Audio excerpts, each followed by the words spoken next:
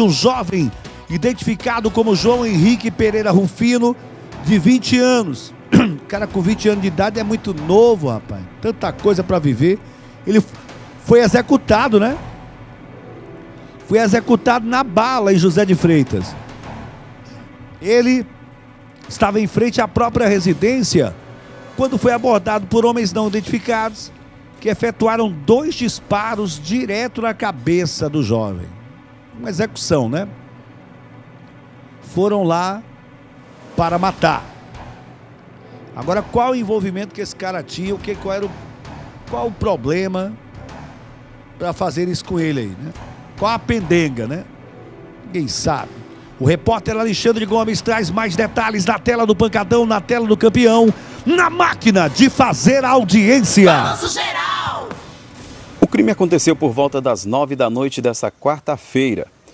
Um homem chegou de motocicleta e atirou duas vezes na cabeça de João Henrique, que teve morte imediata. Segundo informações do pai da vítima, o jovem estaria na rua, em frente à sua residência, quando foi abordado por um homem não identificado em uma motocicleta, que já chegou efetuando dois disparos certeiros na cabeça da vítima. Policiais militares e guardas civis municipais estiveram realizando os primeiros procedimentos e diligências no sentido de identificar e prender o suspeito. De primeira mão, a gente já tem é, algumas coisas já colhidas para passar para a perícia que os mesmos passaram em uma moto, né?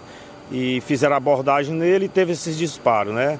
A gente já tem algumas coisas para passar para a Polícia Civil, a gente está aguardando a perícia para passar demais conclusões que já tem de, de, de, de pessoas que viram, né? Que pode relatar com mais precisão depois de posse da documentação dele, a gente viu que ele já tem passagem por porte ilegal de arma de fogo. A polícia científica realizou os exames e uma viatura do IML recolheu o corpo da vítima para Teresina. Felipe Duca, irmão de João Henrique, disse à nossa reportagem que havia aconselhado o irmão há poucos dias. O abandono, a perda da minha mãe, entendeu? Abalou muito o psicológico dele. Então ele volta nesse estado. E eu dou um conselho: e a gente não entra no mundo da droga. Tá aqui o fim, 16 anos. Trabalhe, sai dessa porcaria de droga. Tá aqui o resultado, gente. Não é para qualquer um, não. É o segundo homicídio em menos de cinco dias em José de Freitas. No último sábado 20, o jovem Luiz Paulo foi morto no bairro Suco de Uva. A Polícia Civil deve investigar se os crimes têm alguma ligação. Bota bem. Ei, dá pra botar bem de novo o que foi que esse jovem aí falou? Bota bem que esse jovem falou pra largar droga. Cadê, cadê? Bota bem aí. Vê se dá. Não sei se dá. Não sei se vocês pegaram aí. Deu certo? Estão tentando lá localizar. O jovem falou agora há pouco aí, ó. Larga esse mundo das drogas. Larga esse negócio de mão. Foi o que ele disse aí. Cadê, rapaz? Não achou, não? Não vai, não! Pai, vocês são um bando de égua mesmo. Sério, tá. Vocês são um jacu, viu? Uma ruma de jacu que tem aí dentro aí. Mas é isso mesmo. Bora pra diante. O cara falou bem aí. Largue esse negócio. Se afaste de gente ruim. Olha, o cara com 20 anos, tanta coisa para viver. Assassinado de uma forma brutal. Tiros na cabeça. Uma execução. Foram para matar e mataram. Foram você quer continuar nesse submundo aí? Continue. Mas a qualquer momento você é notícia. Dele. Então ele volta nesse estado. E eu dou um conselho. E a gente não entra no mundo da droga. Tá aqui o fim, 16 anos. Trabalhe. Sai dessa porcaria de droga. Tá aqui o resultado, gente. Não Olha. é para qualquer um, não. É o segundo homicídio. Não, não é para de... ninguém isso aí. Isso não serve para ninguém, não é qualquer um, não.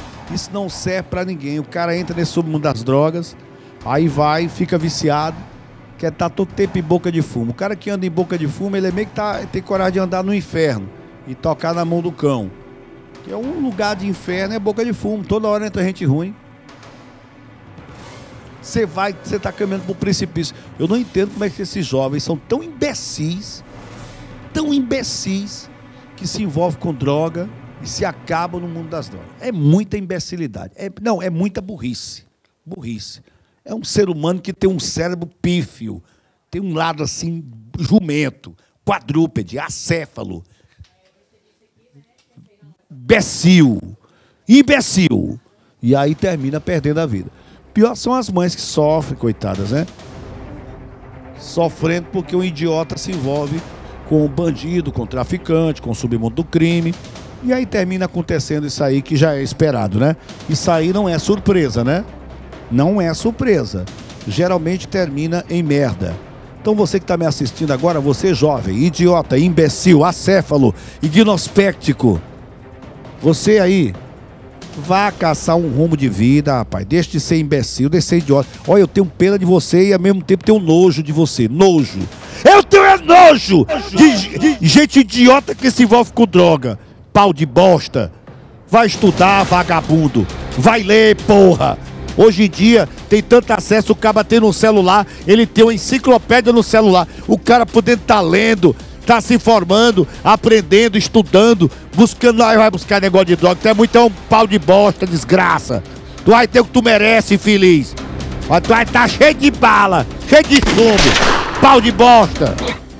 Idiota, burro. Ah, não sei o que que é, que é de boa, é de nós, é legal, é nada de. É, coisa velha nojenta, coisa velha nojenta, coisa velha podre. Dá nojo, eu tenho nojo de você. Você é um ignospé, você é bosta. Bosta por uma gosma. Uma gosma. Você que se envolve com essa porra. Ah, Beto, que é isso?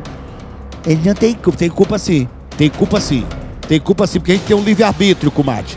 Vá pra merda, vocês aí, que, dessas entidades aí que defendem o drogado. Porque um pau de bosta desse aí, ele pode negar se aproximar de merda, de droga, de cachaça, de. Hein? Ah, pra merda. Aí o cara pode se afastar disso aí, não se afasta porque não quer, rapaz. Não é não, Maria? Não se afasta porque não quer. Se entrega pra morte. Se, vão vocês tudinho aqui, vocês tudinho aqui dessa equipe aqui, vão pra merda também. Vão vocês tudinho. Não, vocês estão aqui pedindo pra eu parar de, parar de falar não sei o quê. Vão pra merda vocês também. Eu não aguento mais.